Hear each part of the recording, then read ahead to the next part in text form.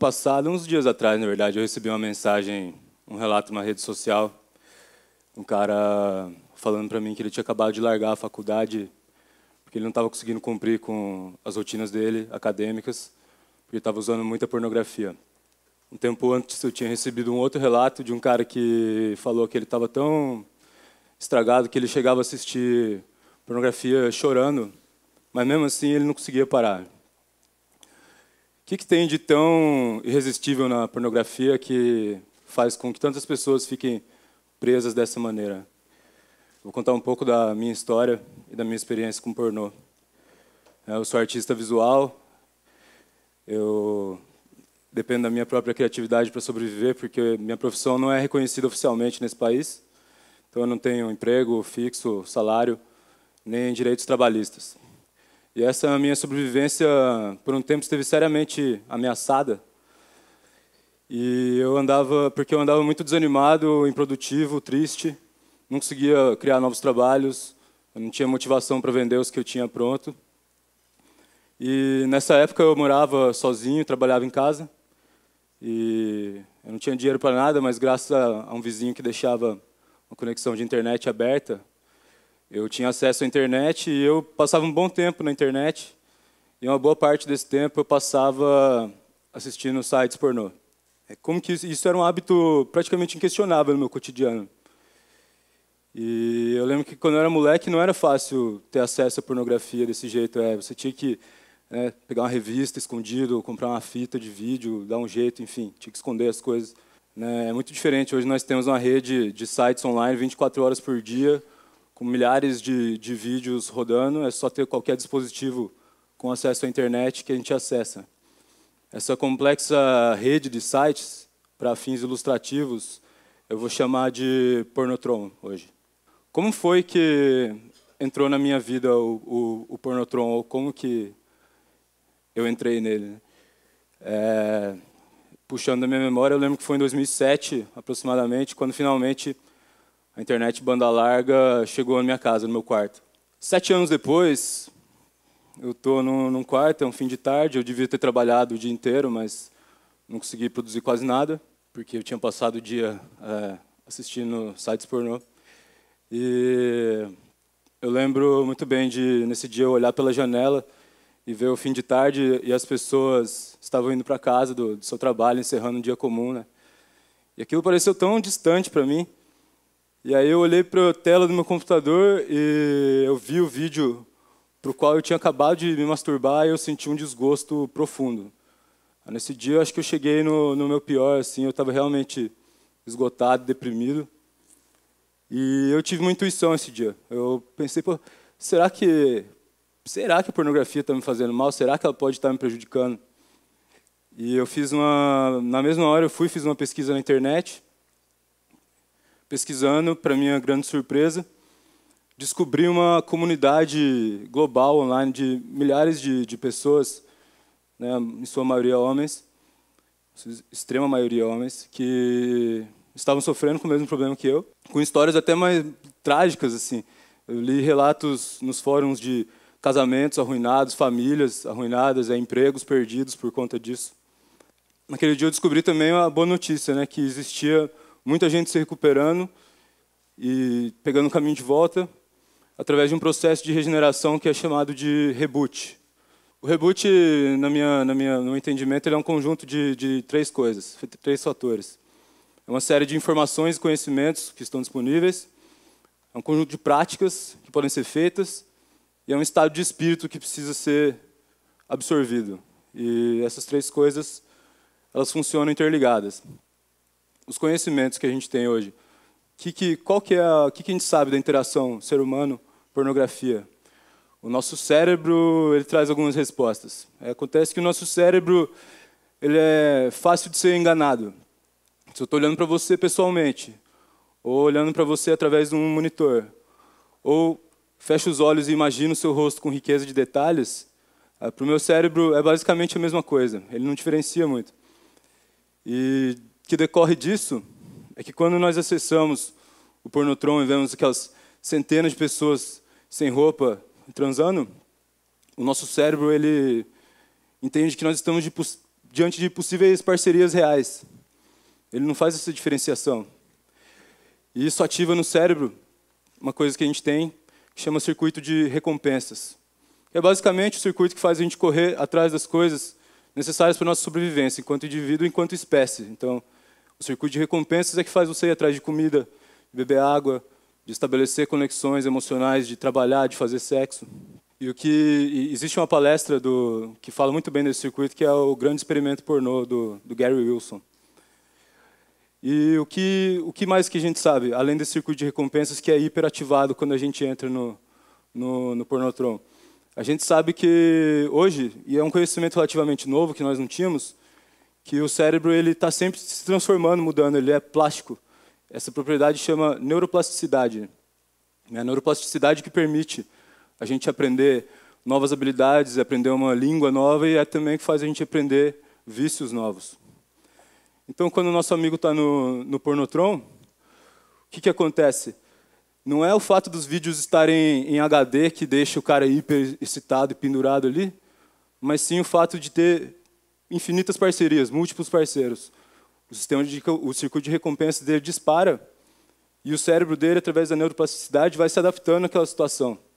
Na prática, o que acontece? Quanto mais a pessoa busca pornografia na internet, mais o cérebro dela se adapta para buscar pornografia na internet. E com o esgotamento, e o circuito de recompensas, por ele estar tá sendo hiperestimulado por infinitas parcerias que a gente nunca vai ver no mundo real, ele chega numa situação de esgotamento. E quando ele se esgota, ele não se esgota só para pornografia, ele se esgota para a vida em geral. Então é nessa hora que a vida começa a ficar, as coisas começam a ficar difíceis, é nessa hora que o cara larga a faculdade, que o cara está triste, desanimado. Isso não costuma ainda mover uma pessoa a parar de, parar de assistir pornografia. Como que surgiu essa comunidade do reboot?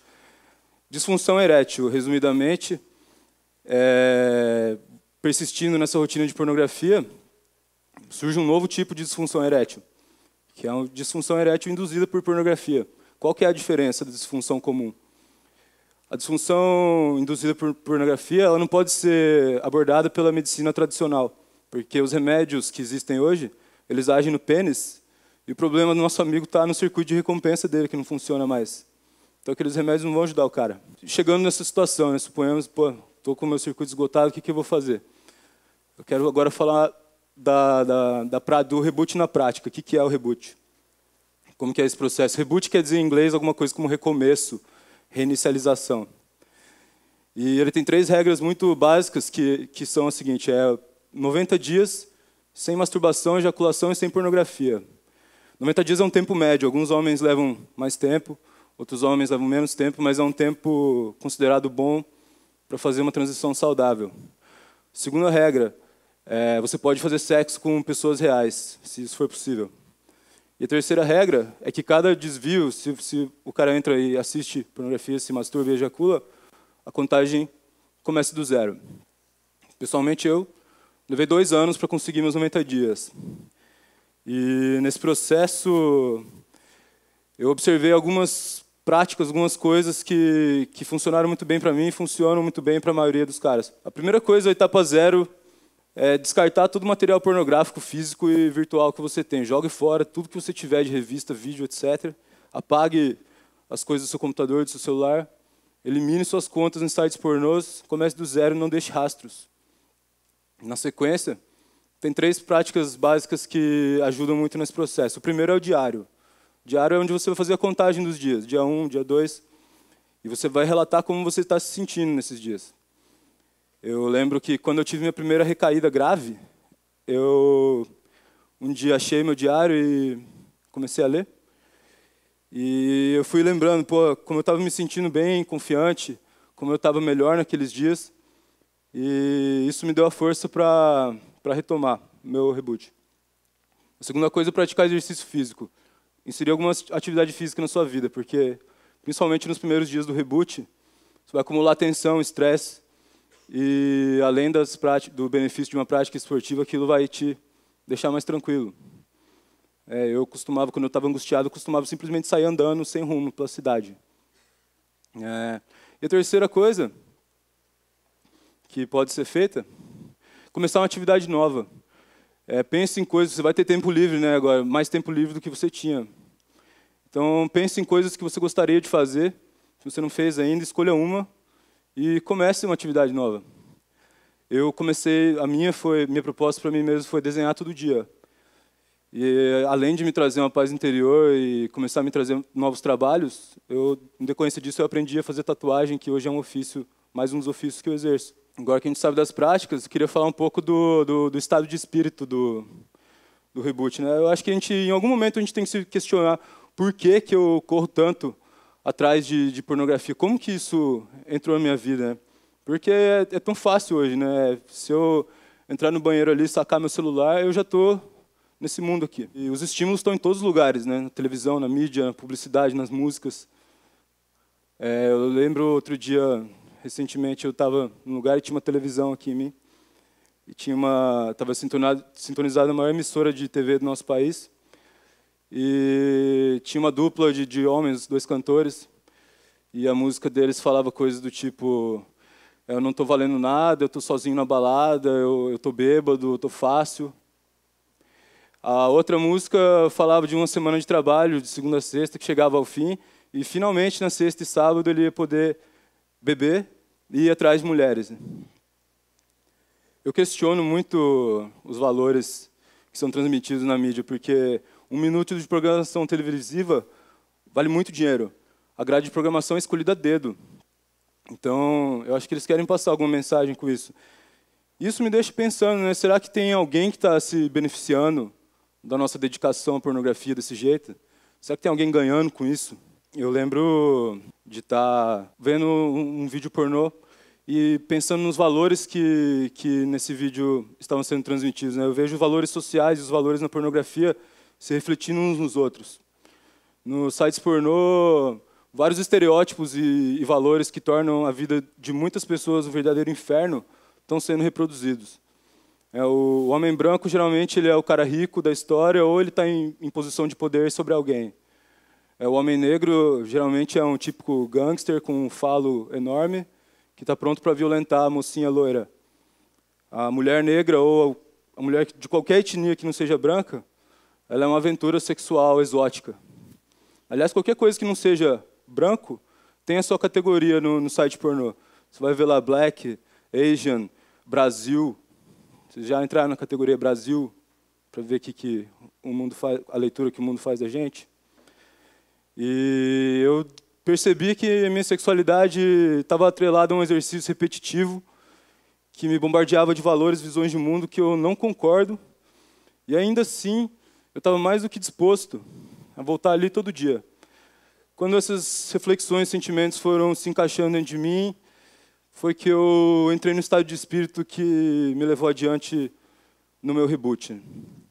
E o reboot é um processo pessoal, ele não é uma ciência exata, cada pessoa passa de um jeito por ele. Só que existem alguns desafios no caminho e alguns benefícios que são esperados que são compartilhados por muitas pessoas. Eu queria falar um pouco agora do, do, dos desafios. A primeira coisa é, são os impulsos sexuais. Sexuais não, impulsos masturbatórios, a vontade de você entrar no site pornô e se masturbar. Esse vai ser o seu maior problema no início, foi o meu. É, pode ser uma verdadeira tortura. Eles vão vir, os impulsos, e eles vão vir fortes, e é muito provável que você vá sucumbir em um momento ou outro é importante prestar atenção no que, que dispara esses gatilhos, esses impulsos dentro de você.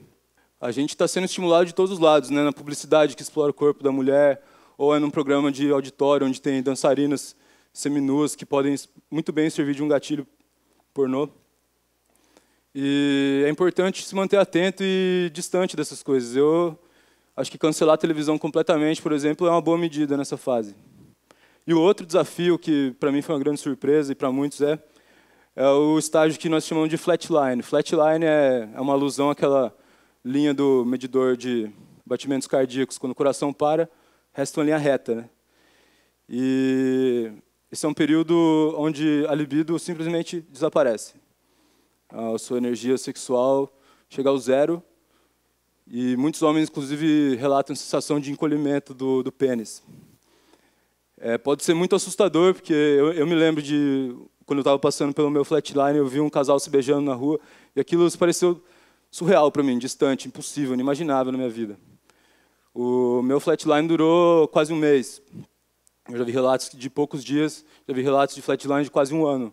Isso pode trazer um verdadeiro pânico, porque você não sabe quando que a sua energia vai voltar a se manifestar, mas ela volta. Isso é garantido, ela vai voltar e vai voltar de um jeito muito diferente. Queria falar um pouco dos benefícios do, do né, desse processo. O que esperar de vantagem nisso? É, vou contar a minha história, mas é, pode ser lida em qualquer fórum de reboot na internet. Que primeiro é, eu senti foi um aumento na minha disposição física, né, meu vigor físico. Eu comecei a dormir melhor, dormir menos, acordar mais cedo. A outra coisa foi a clareza mental muito grande que, que veio em mim, uma clareza que eu acho que eu nunca tinha tido, sem a qual eu não poderia nem estar falando aqui hoje. É, minha memória melhorou muito, minha percepção melhorou muito, minha concentração melhorou muito. Mas o que mais me surpreendeu foi minha relação com as outras pessoas. Na época do meu reboot, eu namorava. E quando eu fiquei meus 30 primeiros dias longe da pornografia, calhou que eu estava 30 dias sem ver minha namorada, mas no mesmo, mesmo período. E quando eu reencontrei, ela é uma mulher linda, né? mas quando eu reencontrei, ela estava mais linda ainda, e eu estava reparando coisas que eu não tinha reparado nela, assim, pequenos detalhes, um jeito de falar, um jeito de olhar uma coisa. E eu fui falar isso com ela, falei, pô, fez alguma coisa? Está tão bonita hoje? Ela falou, não, não fiz nada demais e tal. E eu comecei a perceber que a minha visão estava diferente, a minha percepção das pessoas estava diferente. Na rua, nos lugares, eu percebi que eu estava sendo melhor tratado, as pessoas faziam contato visual comigo, trocavam ideia. Mas eu percebi que eu que estava também mais receptivo, estava olhando para as pessoas, estava interessado em saber o que elas estavam querendo dizer para mim, cumprimentando as pessoas na rua. E outra coisa que acontece é uma revolução na sua sexualidade muito profunda. Para mim existe o sexo antes e o sexo depois no reboot. Eu poderia ficar falando horas do, dos benefícios, mas meu tempo já está chegando de final. E eu queria falar que, primeiro, esse é um recorte de um homem branco heterossexual. É necessário que eu não posso falar por outras pessoas, então é necessário que venham outras vozes falar disso, as vozes dos homossexuais, das mulheres, por exemplo.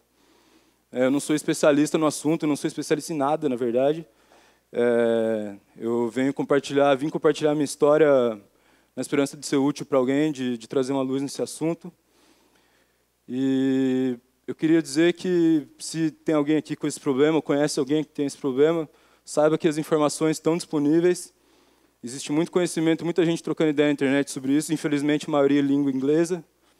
Mas as coisas estão aí.